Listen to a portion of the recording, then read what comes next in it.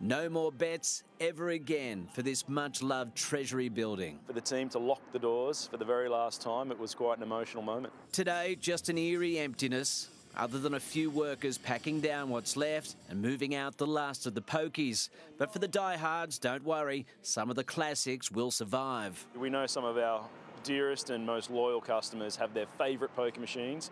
Uh, so we're doing the right thing and we're taking a few of those favourites over to the new star. April 1995, the doors opened for the first time to high hopes and great excitement. Oh, I wouldn't mind winning a fortune. And today, unaware the doors were shut forever, they were still arriving and hoping the same. I was dreaming about last night in my dreams. You had a dream you had a big win today? Yes, I did, yeah. And, and now they're closed. For the first time in a very long time, Brisbane is without a casino. Four days, uh, Brisbane without a casino. Uh, I think I think everyone's going to be okay. We'll find something else to do, yeah, most certainly. The RSL? Uh, never thought about that, but yeah, that could be on the cards now. That's a good idea. So what now for all of this? Speculation is rife that it'll be anything from high-end retail to a new entertainment precinct.